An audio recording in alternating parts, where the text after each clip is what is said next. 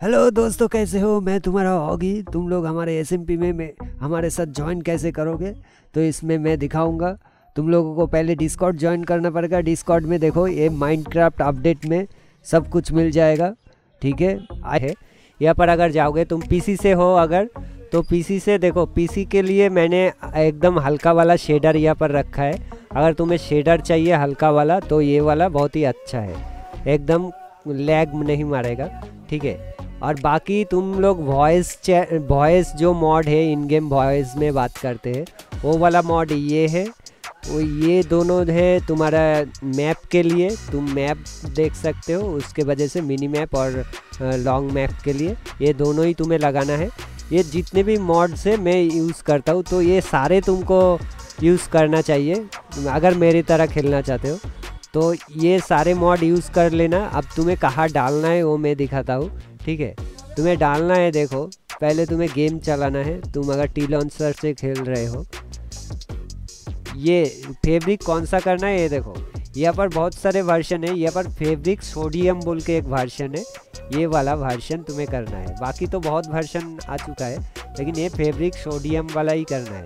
ये fabric sodium वाला करोगे तो तुम्हारा कोई प्रॉब्लम नहीं होगा। तुम्हारे स्किन वगैरह सही दिखेंगे अंदर गेम के अंदर। तो देखो गाइज़ ये रहा हमारा टी लॉन्चर जो ओपन हो चुका है। तो टी लॉन्चर में देखो, यहाँ पर जाके तुम देखोगे एक फोल्डर का साइन है, ठीक है? इसमें क्लिक करोगे। इसमें क्लिक करोगे तो तुम्हारा ये फोल्डर का साइन ओपन हो जाएगा। डायरेक्ट तुमको फाइन फाइन टारगेट में ले जाएगा, जहाँ पर तुम्हारा माइनक्राफ्ट लोड किया हुआ है। देखो, ये देखो एडमिनिस्ट्रेटर के अंदर ऐप डाटा रोमिंग ये माइनक्राफ्ट डॉट माइनक्राफ्ट ओके यहाँ पर तुम्हारे देखो, यहाँ पर मैंने फैब्रिक किया हुआ है फैब्रिक वर्जन से खेलोगे तो ये सब तुम लगा पाओगे, ठीक है? तो फैब्रिक वर्जन ही करना मेरे जो सुझाव है। तो अब तुम्हें कहाँ जाना है?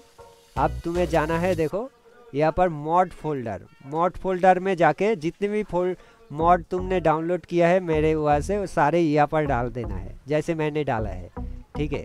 और तुम एक काम कर सकते हो, तुम्हारा जो शेडर है, शेडर फोल्डर में डाल सकते हो। यहाँ पर रिसोर्स पैक भी डाल सकते हो और शेडर फोल्डर में शेडर पैक डाल सकते हो, जो मैंने दिखाया। तो ऐसे तुम्हारा जब हो जाएगा, तब तुम गेम काट के गेम को चालू करो। तो तुम्हारा गेम एकदम झक्कास चलेगा मेरी तरह।